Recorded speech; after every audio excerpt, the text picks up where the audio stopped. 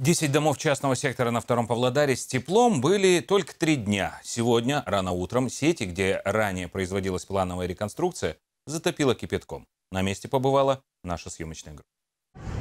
Коммунальная авария на пересечении улиц Геринга-Алтайская произошла сегодня ночью. Вызов на пульт диспетчерской тепловиков поступил в 5 часов. А это видео в редакцию прислала Виолетта Бутакова. Женщина рассказывает, утром вышла провожать детей в садик и школу. Вместо новой теплотрассы увидела горячий бассейн. Сказала, что в пятницу вечером нам дадут. В пятницу не дали, дали только в воскресенье 6 часов вечера.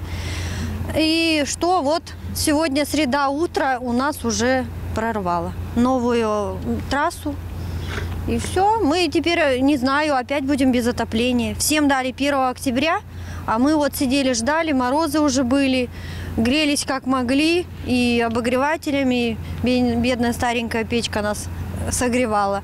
На улице минусовая температура, воды много. На аварийном участке работает осенизатор. Объем 3 куба. Люди переживают, что одной спецтехники мало. Говорят, откачивать надо быстрее. Напомню, в этом микрорайоне дома неоднократно топило грунтовыми. Сейчас горячая уходит по тому же пути. В погребах стало сыро. Вот уже немножко воды пришло.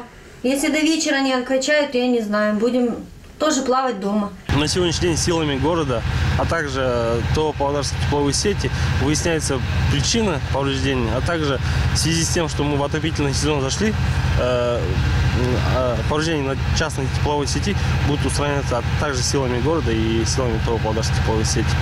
Напомню, в середине августа здесь начали реконструкцию тепловой сети. Завершить обещали до начала отопительного сезона. Это должно было решить проблему недогрева как в частном секторе, так и в многоэтажках. Однако сегодня в отделе ЖКХ заявили, плановый ремонт отношения к аварии не имеет. Прорвало частную сеть, предположительно по улице Алтайской. Без тепла остались 10 ближайших домов. Определить участок и причину повреждения смогут после полной откачки воды. Тогда же станет известно, будут ли производить дополнительные отключения. Назвать точные сроки устранения коммунальщики пока не могут.